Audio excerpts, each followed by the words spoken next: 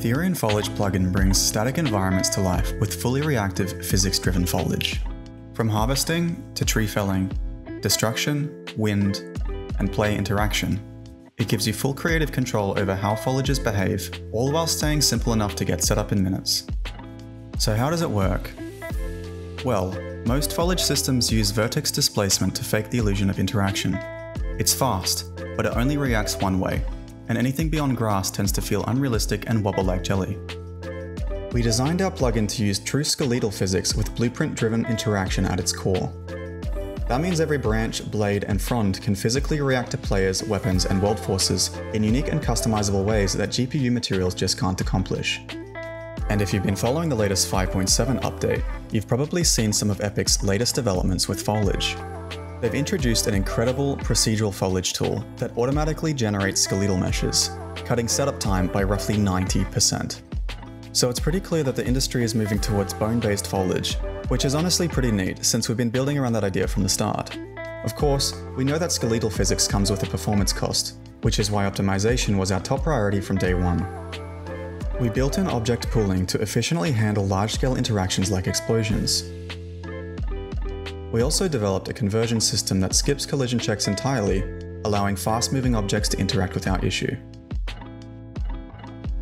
We've added bone-based physics detection for complex shapes and created a custom tweener system to deliver smoother, faster animations. If you're curious about how it runs in your own PC, you can click the link below in the description and download the demo. Beyond speed and stability, we focused heavily on real-world usability. Over the past year, we've worked closely with the community testing, refining, and exploring countless use cases to make sure the system fits seamlessly into different workflows and game types. The result is a growing library of documented content examples covering everything from weapon integrations to environment tools. One such tool is our Foliage Link system, which lets you assign ambient effects, sounds, and blueprint logic to each foliage type. It offers two-way communication so that the ambient blueprint and the interactive foliage blueprint can read and write variables and trigger events on each other. And to make things easier for you, we made it so that all foliage blueprints inherit from the same parent class, giving you access to over 20 custom functions and a set of time-saving utilities designed to speed up development and expand flexibility. With that as the foundation, characters can be ready in about 30 seconds and foliage in just a few minutes.